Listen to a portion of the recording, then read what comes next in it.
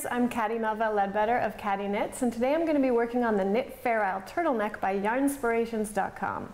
This is an intermediate level pattern so you want to be comfortable knitting and purling, working in the round on a circular needle and on double pointed needles, but you don't have to have worked Fair Isle before. This is a wonderful first Fair Isle project. The pattern is extremely well written and easy to follow and I'm going to be there to help you through the more challenging parts of the pattern. The sweater itself is knit in the round on a circular needle through the body to the armhole. The sleeves are knit separately on double pointed needles to the armhole.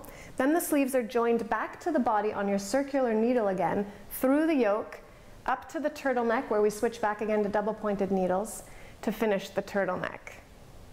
The stitches that are held on safety pins or holders at the armhole are grafted together at the end. So the sweater is completely seamless. On, in this tutorial, I'm going to show you how to do Fair. I'm going to show you two colors in your right hand, two colors in your left hand, and one in each hand.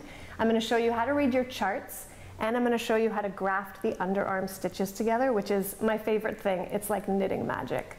So before we get started, let's just take a closer look at our pattern and our yarn. So if you look at page three of your pattern, you'll see a great picture of version one and version two of the sweater. And you can choose which one you like better. The difference is the colors are used in different orders, the contrast colors, and you'll be following different charts, which we'll get to in a minute. The yarn we're using today is by Caron and Pantone, and it is gorgeous yarn. 60% acrylic, 20% merino wool, and 20% nylon. Our main color is mushroom grayish, and our contrast color is the morning blues. And what's really fun about this yarn is that the color experts at Caron have teamed up with the color experts at Pantone to bring you these beautiful color braids. And each braid comes with five separate links of gorgeous color that have been carefully chosen to work together in any order you want. You'll see the color inspiration right on the front of the tag here with a little number underneath each color. And those correspond to your pattern on page one. So if you're working version one, you'll know your contrast color A is color 194340, which is right here, 194340. So I know cost, contrast color A is the third color down in my braid. Now before you can work with this yarn, you do need to separate the links and wind them into balls. And if you don't know how to do that, there's a separate tutorial on the Yarnspirations channel which shows you how to do that. So once you're ready with some yarn wound up, we will dive right into our chart and do some Fair Isle. So before we get started doing our Fair Isle, let's just first take a look at our chart. We're going to start with the sleeve charts. So depending on the version you're doing, you're either going to follow this sleeve chart or this sleeve chart, and they are the same, it's just that the colors are used in different orders. So we're going to be focusing right here on this chart. The first thing we want to note is that every square in a chart is a stitch. When you're working in the round, you always start on the right and work to the left. So every round you're going to start here, reading right to left. We have an eight stitch repeat in our sleeve chart. That means that everything within these lines is repeated over and over till the end of the round. So we have extra stitches worked on the sides that are not repeated. And that becomes really important on round five when we have an increase, which I'll get to in a minute. So you can practice this part on a swatch if you want, or if you're ready to start your sleeve, go right ahead, dive in. We're gonna work on round one together. Before I work with multiple colors, I like to put my balls in a Ziploc bag. This helps them not all get tangled up on each other, so I just drop it in here. I zip it up so that the ball can't come out, but the yarn can still come through. And this way, my six colors that I'm going to be working with in this project won't be bouncing around, tangling up on each other. Okay, so the first way of doing Fair Isle I'm going to show you is two colors in your right hand. Our first stitch is the contrast color, then main color, contrast main, one by one all the way to the end of the round. So I just join my contrast color just like I would for any other project and knit that first stitch. Then I'm just going to tighten up where that first stitch is kind of loose, just pulling on the tail of my contrast color and my main color. Then I'll get my tail out of the way there.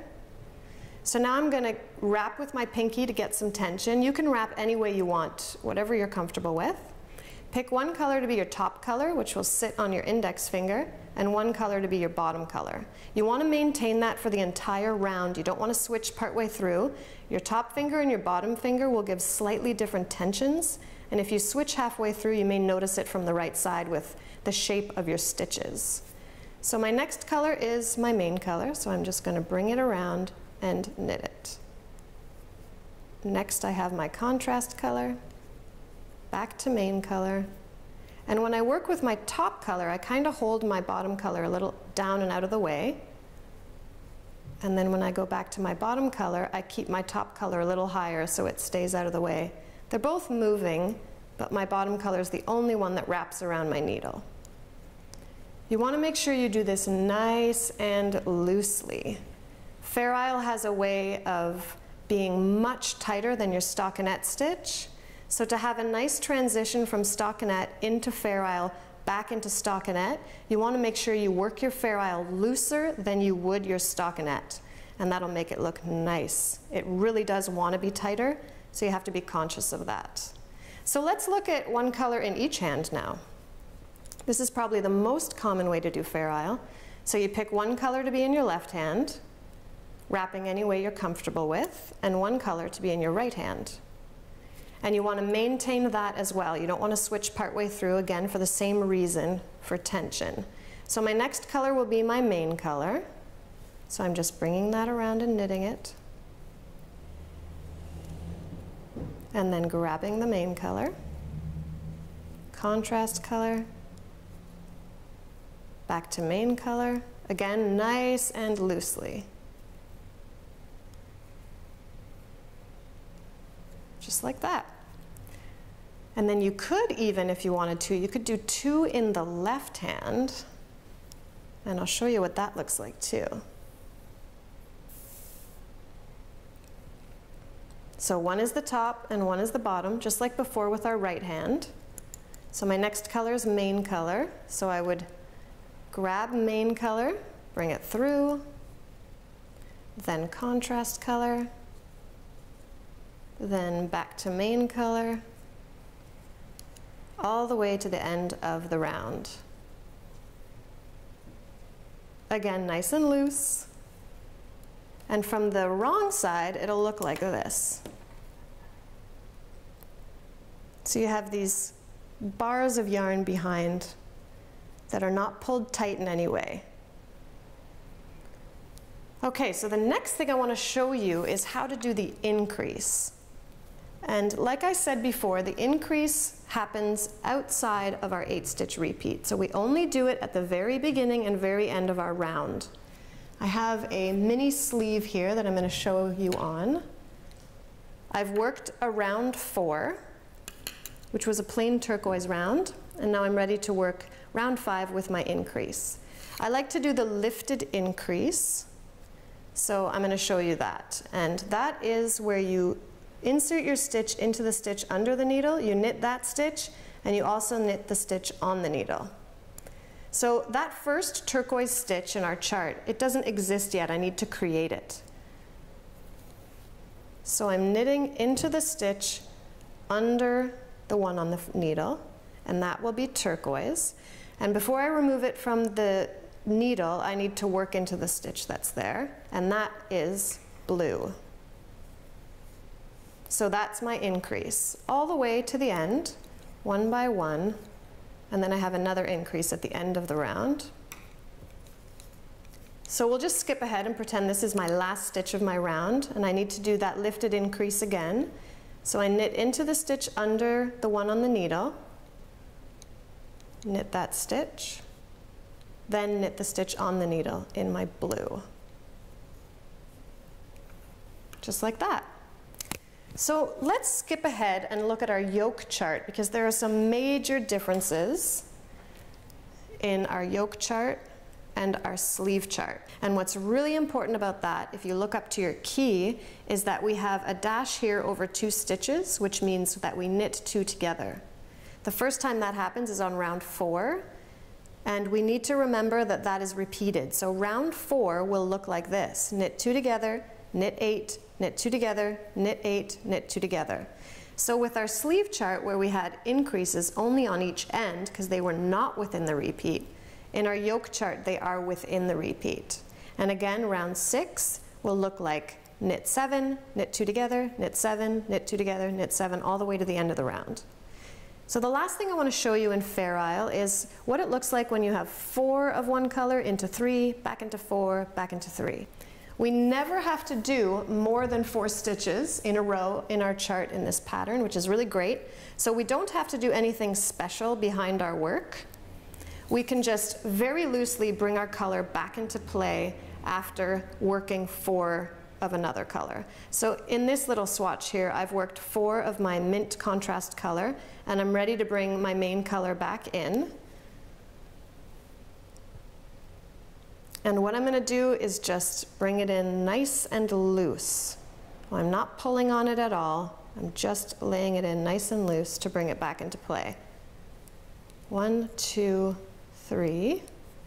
Then back to contrast color, nice and loosely.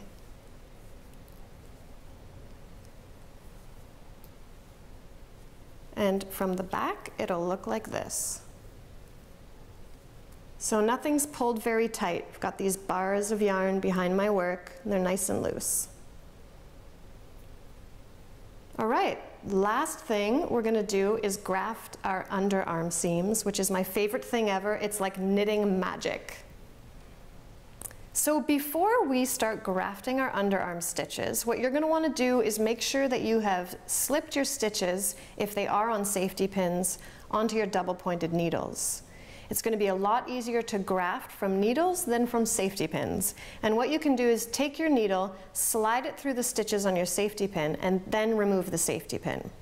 The next thing you want to make sure of is that all your stitches are oriented properly on the needle. If they are twisted like this, they will not work out with our grafting. It will not look right. So you want to make sure they're all oriented correctly.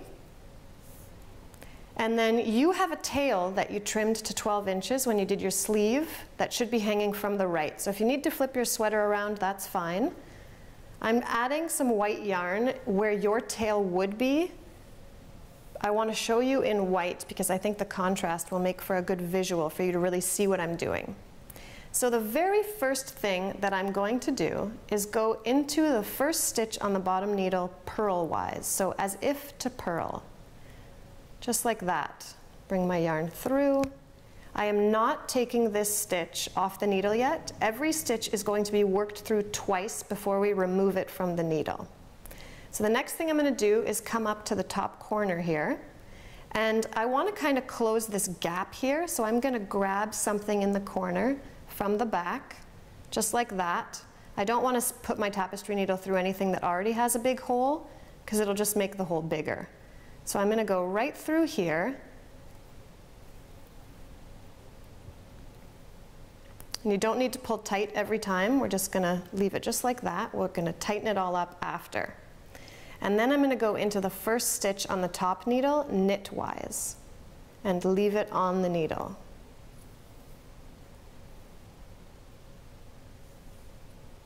Then I come back down to my bottom stitch back through the stitch I've already gone through, knitwise. Now I've gone through that one twice, I can take it off the needle, turn, purlwise, leave it on the needle. Again, don't pull tight here, you don't need to yet. Back up to the top, back through the one I already came through, purlwise, take it off the needle, knitwise, leave it on the needle.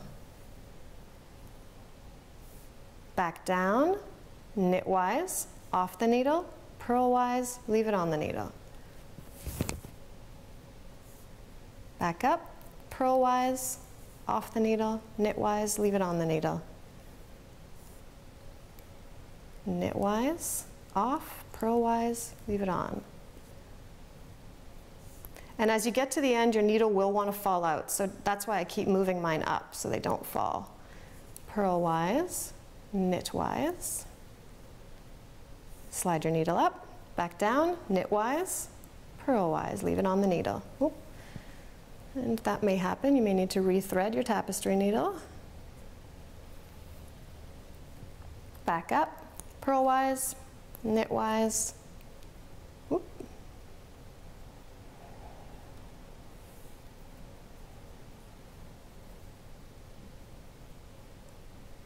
There we go. Back down, knitwise, purlwise.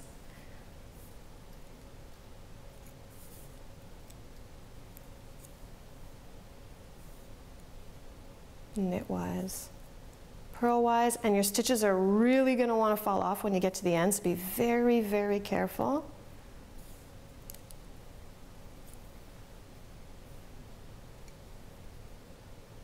So what I'm going to do with my last stitch, because it's definitely going to fall off, is I'm going to get my yarn ready to move up, and then I'm just going to hook my needle into my sweater so it doesn't go anywhere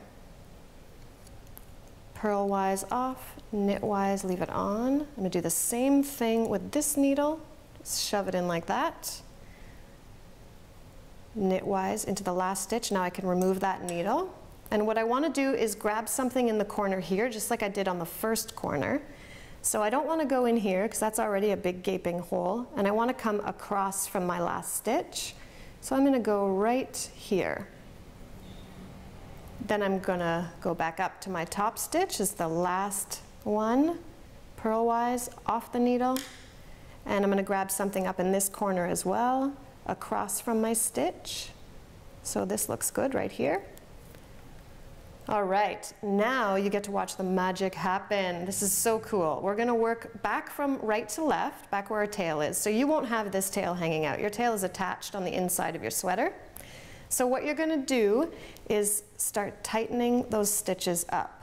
So I'm kind of working half stitch to half stitch or half V to half V, giving them a tug, not too tight, pulling them up, half stitch by half stitch.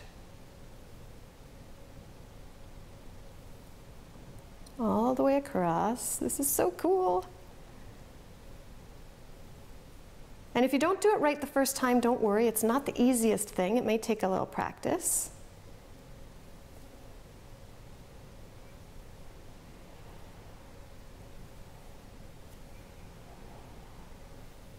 All the way to the other end where your tail is. And when you get close, you can pull on your tail. And then now all I need to do is take that tail to the inside and sew in from the inside, sew my tail in. And check it out. I have created knitting where there was no knitting before. I'm going to just put my hand up the inside of the sweater so give you a better look here. It's completely flat. Blows my mind every time that we can do things like this. Knitting is so cool. I don't know about you, but I can't wait for ski season to start. I'm totally going to wear this sweater skiing. It's so cozy and warm. I hope you enjoyed this tutorial, and whether it was your first time or your 50th time doing Fair Isle, I hope you had fun and I hope you found this helpful. I'm Caddy Melva Ledbetter. You can find me at caddyknits.com. And until next time, I wish you very happy knitting.